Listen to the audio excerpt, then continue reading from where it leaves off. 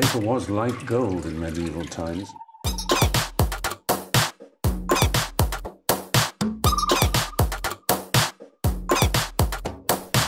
Oh, not tobacco, sugar. That everything we thought we knew about the world might turn out to be completely wrong.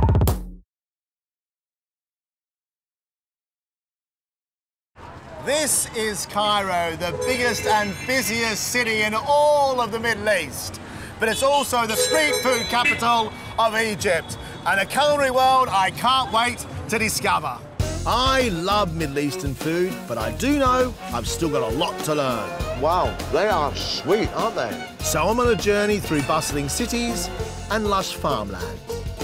And from glittering coastlines to harsh desert landscapes. If the scorpions or the snakes come, you can see they've been here already. To discover how so many communities have thrived here. 400 breads a day. Yes, you guys are busy. I'll be showing familiar favourites It's never too late to learn how to make hummus. and sample new flavours. It's like the best kebab I've ever eaten in my life. And I'll be using that inspiration in dishes of my own. Well done, me. This time, my skills as a critic are tested to the limits. I'm not quite sure. I think I'll have to eat a little bit more. I sing for my supper, Oh, should we sing a song? No. No? and I make a meal that's perfect for sharing. It's when you ask your Auntie Joan around and you know that she's going to get parsley stuck in her teeth.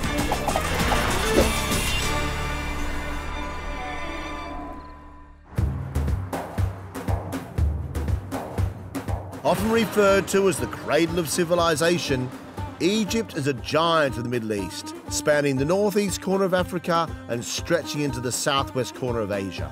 Close to 20 million people call Cairo their home, and on the outskirts of the city, the ancient monuments of Giza stand proudly, just as they did when they were built a staggering four and a half thousand years ago. Unlike its neighbouring Middle Eastern capitals, Cairo doesn't have such a thriving restaurant culture, so it's on the streets that I plan to find the finest foods. To guide me on my quest, I'm meeting Layla, who runs food tours of Cairo. Hi, John. How are you? Nice to meet you. Nice to meet you too. You have the most extraordinary city. Yes, welcome to Cairo. If you're in for street food, you've come to the right place. I absolutely love street food. I think for me, street food is that it's sort of the heartbeat of a culture. You get to see the street food where people really eat. This is my favourite thing to do. Yes. Eat and and explore. Yeah, Speaking of which, It's beautiful. yeah. What is this place? So this is an authentic small old bakery. These bakeries only do beledi bread. Belody. Yes, and beledi means local. I've seen bread like this all around Cairo. Yep. But how do they make it? We can take a look inside and you know you can see the process from start to finish. Show me the way. Whoa! What a place! So the word for bread is aish in Arabic, and aish actually means life or comes from the word of life. This is really what bread is to Egyptians, you know. They are so so beautiful. So you got the whole process here. It's like a mini factory. You know, you've got everything from mixing the dough to flattening out, putting all the ingredients together to actually baking it in the oven. You've got these beautiful old ovens. This is super traditional, very authentic. If they press in the wrong spot, exactly in the middle rather than around it, the bread would basically collapse. And then they would sell that bread cheaper. It would still taste good, but they would sell it cheaper. I've just realised what I've been doing wrong to my flatbread. By you just saying that, Yeah. it makes sense. Yeah. You've got to press around the outside, Exactly. seal the edges, let the air come in the middle, Exactly. and the whole thing will puff up.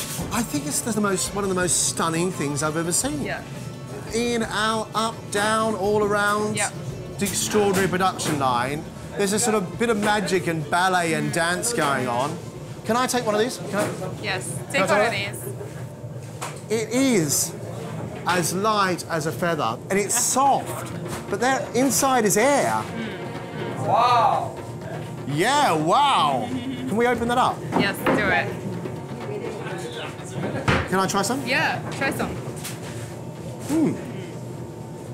There's not a lot of flavour to it. No, Can I sit my head in that oven and just have a look? please don't do that. No, I'm not going to sit my head in the oven, but I want to have a look. Is that all right? It runs very, very deep inside. Oh Sorry. my goodness. and they puff up they're like, they're like lanterns. They almost look like they're Exactly. not real, like bits of crepe paper. Yeah, yeah. Let me tell you something. It's hot in here. I mean, not a little bit hot. I mean, hotter than hot on a hot day on Hot Island. And these guys are just doing this over and over and over and over. Oh, okay, okay, I'm out the way. Up, okay, I'm out the way. Right, time to get out of here. That's the original food delivery service. Yeah, yeah. He even got a high five on the way out.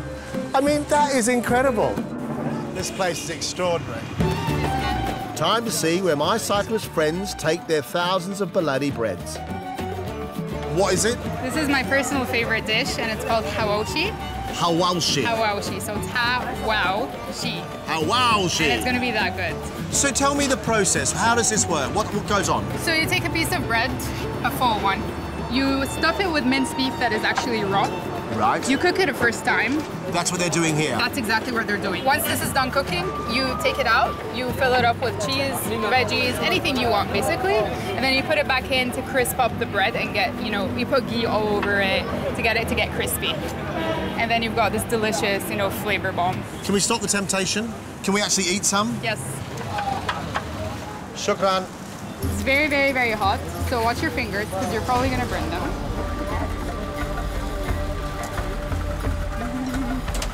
Now, the thing is, I'm not quite sure. I think I'll have to eat a little bit more.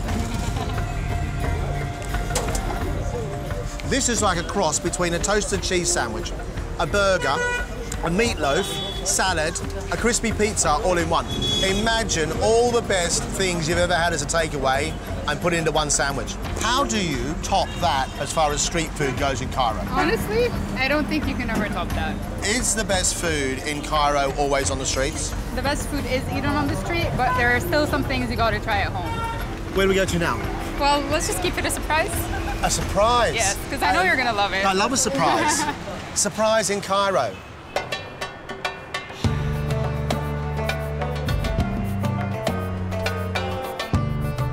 Mean, this is proper suburbia. Mm-hmm. Yes, that's true. Layla's brought me to the suburbs to sample a local delicacy. I brought you here to try a classic Egyptian dish called hamam mahshi, or stuffed pigeon. I talked to my friend's mom, and she makes the best hamam mahshi.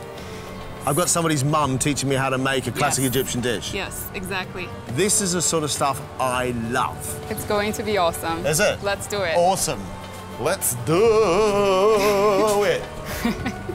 John, this Nice to meet you. Abia is going to show me how she makes her Egyptian stuffed pigeon. Right. I'm just going to tell you right now, we don't speak the same language, so I'm just going to try as hard as I can. Abia adds two spoonfuls of black pepper and a teaspoon of ground cardamom into a pot of water. Then dices some onions in a blender. Okay, so that onions are going into a pot. That's ghee. Onions and butter.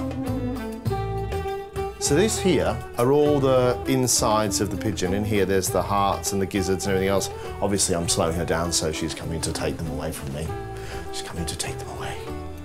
Flavour is obviously really important. Onions and butter, and now the hearts and the gizzards of the pigeon into the pot.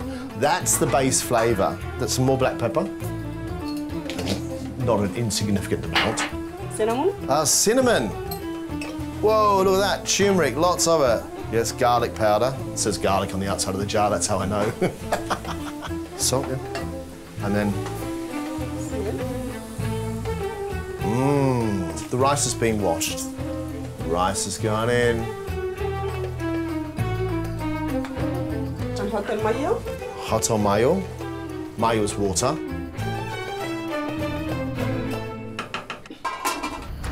That will simmer on the hob while we get our hands dirty. Time to prepare the pigeon. Clean the inside out and then take the head away. Just think, these things this morning could have been flying around Trafalgar Square. These are the livers now. The livers are going in with the rice. Okay.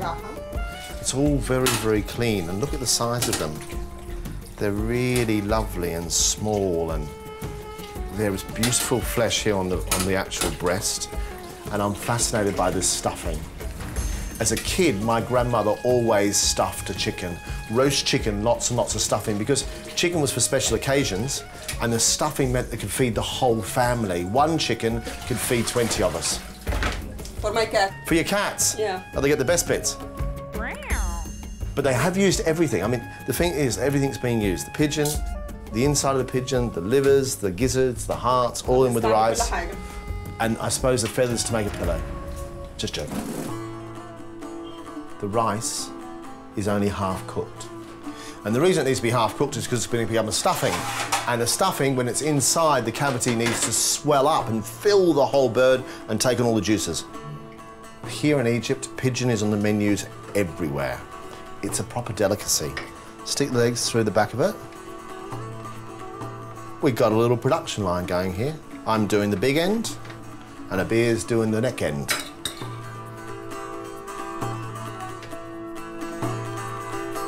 Stock is brought to the boil. Stuff pigeons straight into the water. Here we go. And the pigeons go in.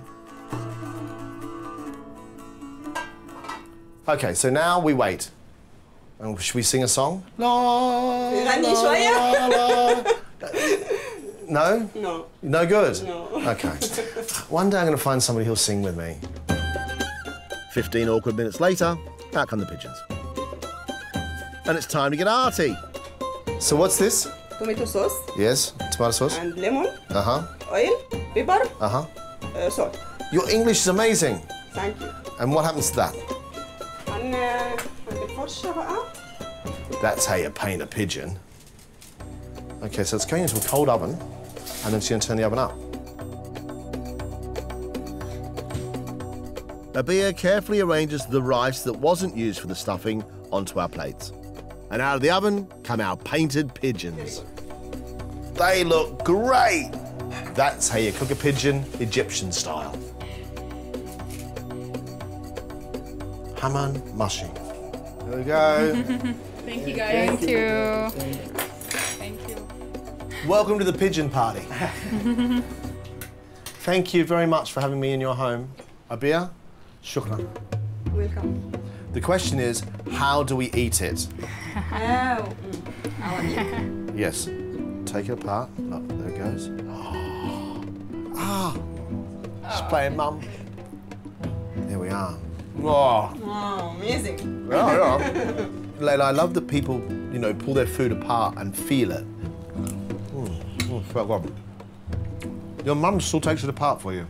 Yeah. Of course she does. Does your mum still do your washing? No, she doesn't.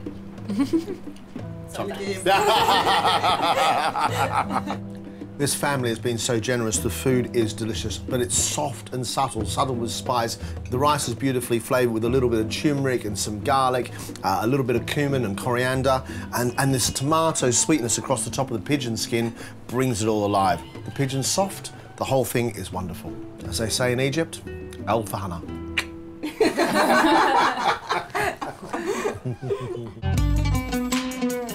The sun is rising on the city again, and surprise, surprise, I've woken up hungry. And what I do know is that one of my favourite foods won't be hard to find around here.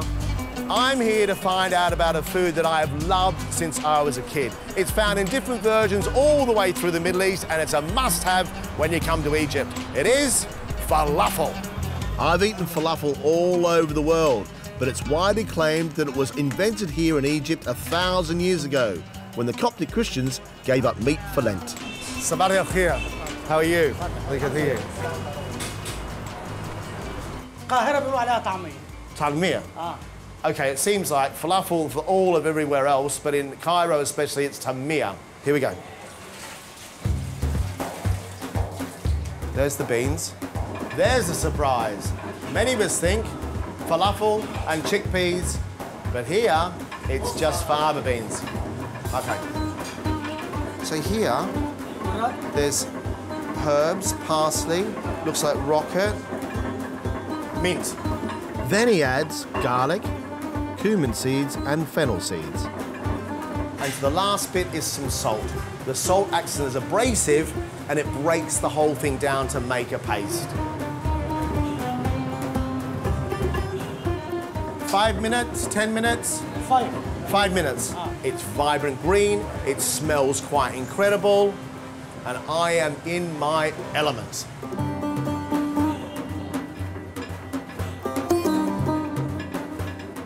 He said he's finished this bit, but actually we've still got to cook it.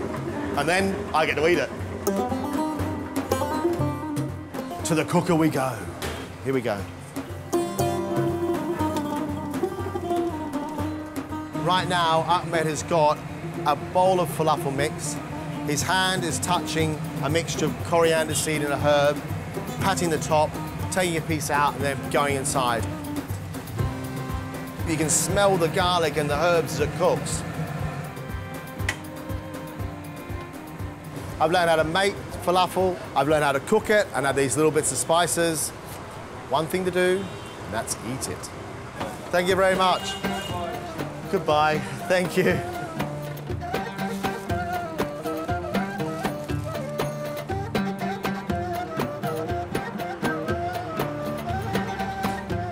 I took a massive greedy mouthful, and for good reason.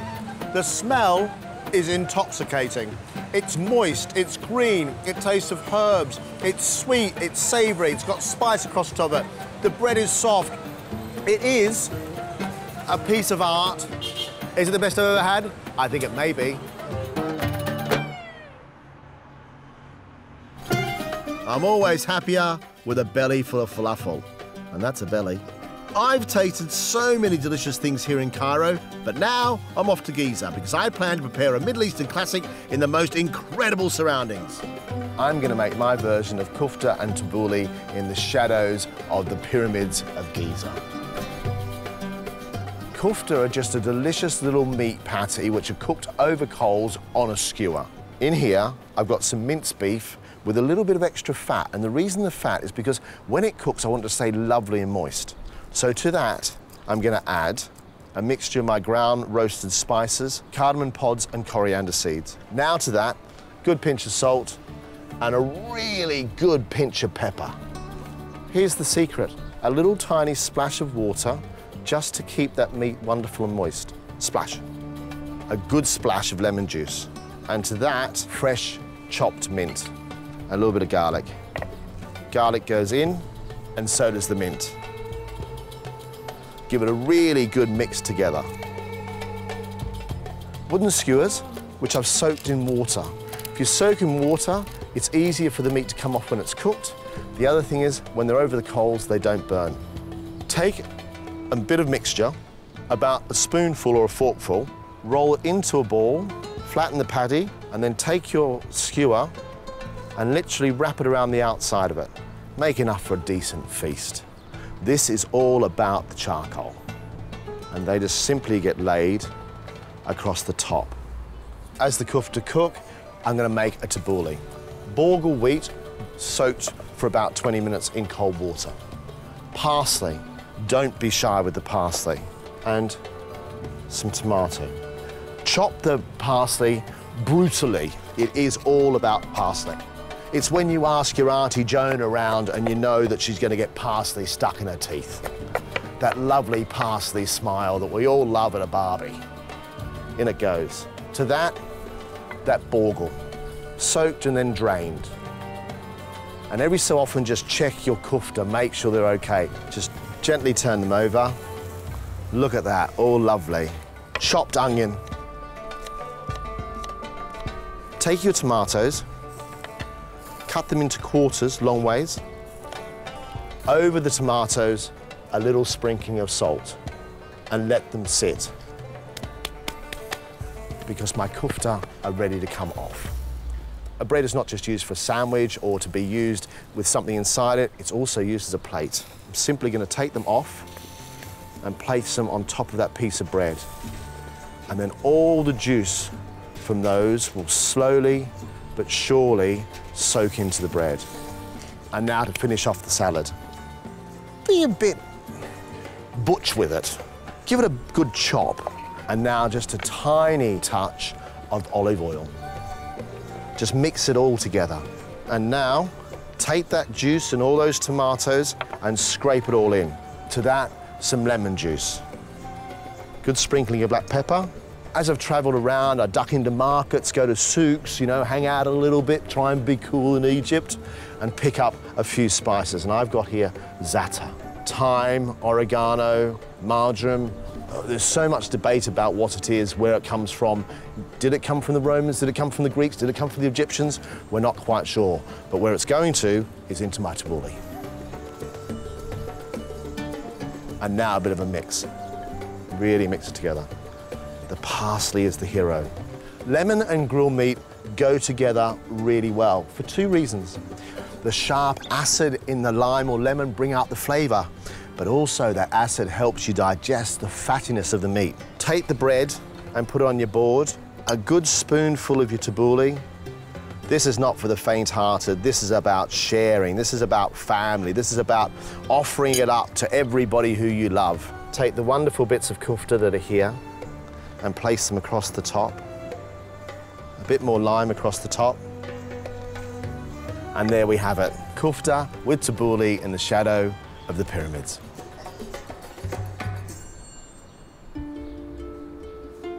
My time in Cairo has been one of life's truly extraordinary experiences. I've learned how to make falafel. I've been blown away by the bread. I've eaten stuffed pigeon in somebody's home, and I've toured the extraordinary streets of the city and eaten the food. And I've even cooked in front of the pyramids.